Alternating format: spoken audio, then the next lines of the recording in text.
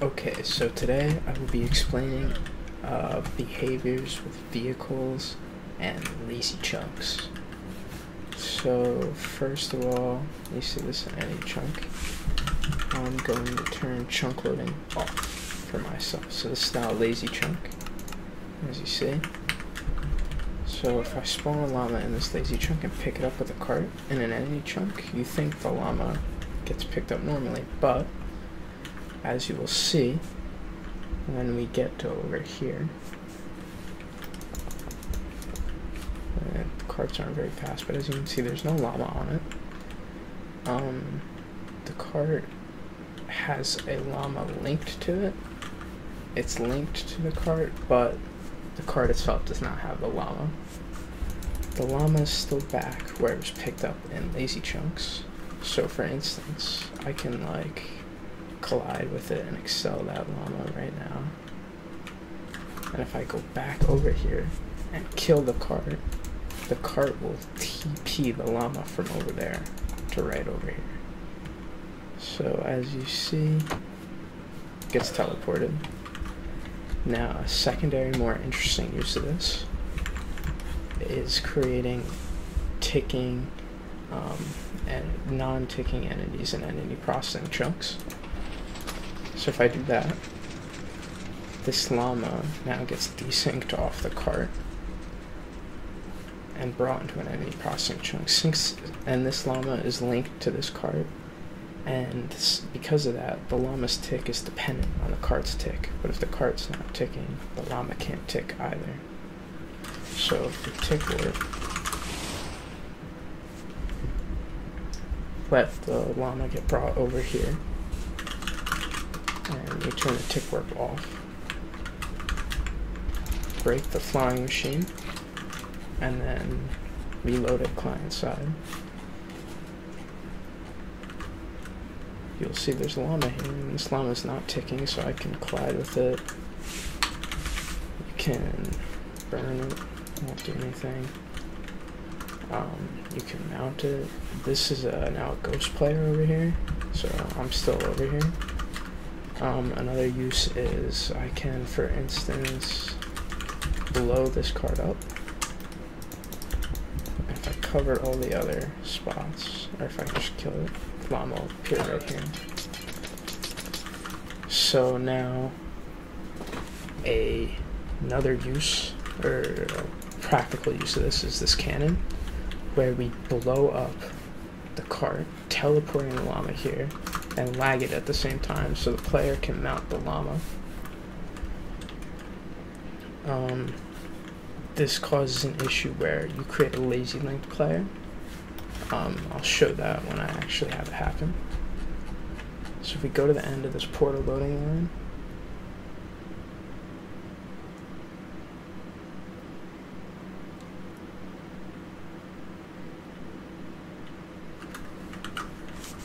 you will see uh, these golems, and then two llamas and two carts. If I hit this note block, it'll trigger this portal loader. These chunks will load, and then llamas get pushed into lazy chunks and then picked up by these carts. Then piston bolted that way. Now if I reload this area client side, and come back, you'll see llamas are right here colliding. So I get their data of their motion, for instance. Let's see, it's at 11,000, which means they move 11,000 blocks in one game tick. So I then move the llama, now collides with the other side of the golems, gets momentum this way.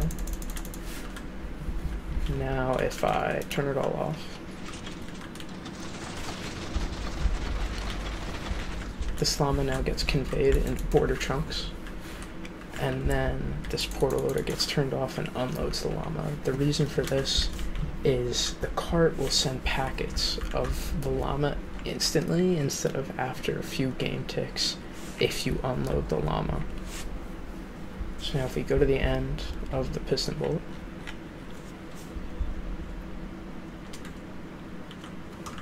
see the cards.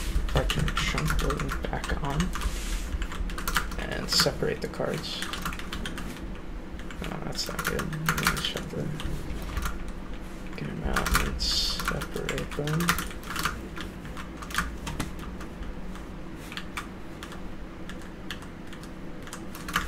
You can now see if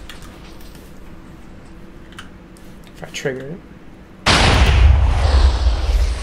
I'm now a lazy linked player, so I'm a ghost player right now. Items get thrown over there. I can still place blocks, but I have a range, for instance. Can't place blocks to where that player couldn't place blocks. Now, if I trigger it again,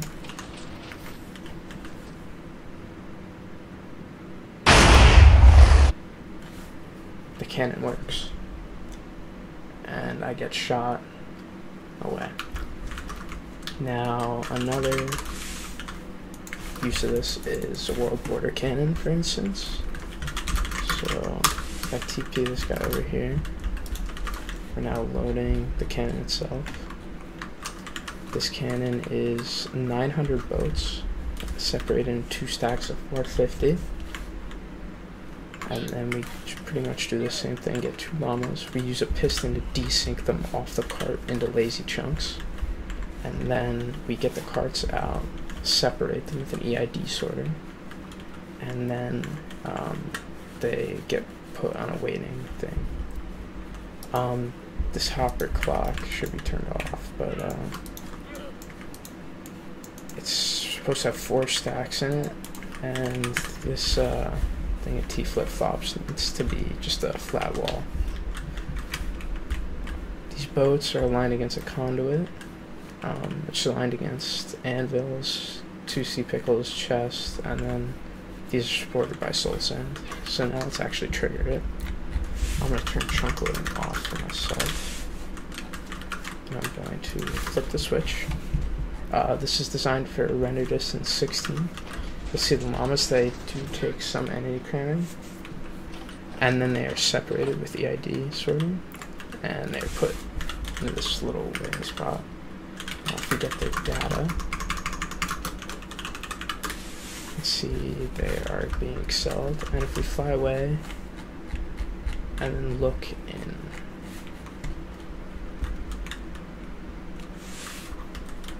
So as you can see, you can see the llamas. They're right there. Um, they're colliding with the boats. You can see their hitbox are intersecting. Um, and the total time they need to collide to get you to the world border, which this clock is, is about an hour if you have the same amount of boats. So I'm going to stop it early because we're not actually going to wait an hour.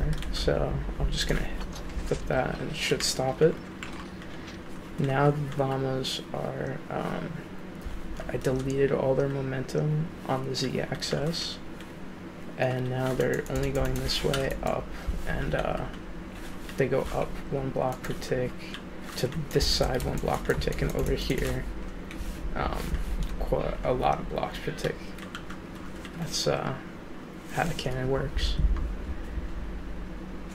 Now once I fly back over here I have to turn chunk loading back on as well as we have to unload the chunk that the can that the llamas are in. So the llamas are currently in this very chunk, so if I turn that on, you can see that chunk. We now have to teleport this player over here. You can see that chunk's now a border chunk, but it will become unloaded in a little bit. Hold on.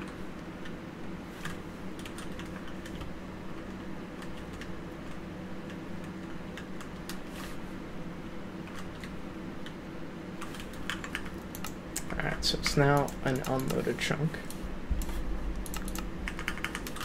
And now the cannon's ready to be used. So the way this works, it kills them with TNT the same way I already showed. But we used lag created in the tile entity phase using dust.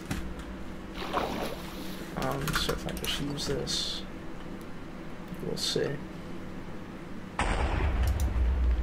Mount that on, and then you mount the second one and it shoots you off. Uh, as you can see, they do take a decent amount of damage, but if you have average health llamas, they will survive. Or you can heal them um, while they're entity cramming. But you don't have to do that. So this probably would have taken me to about 600k blocks, but I'm going to stop it early. There's no world gen here. It's very weird, but yeah. That's uh, how those mechanics work.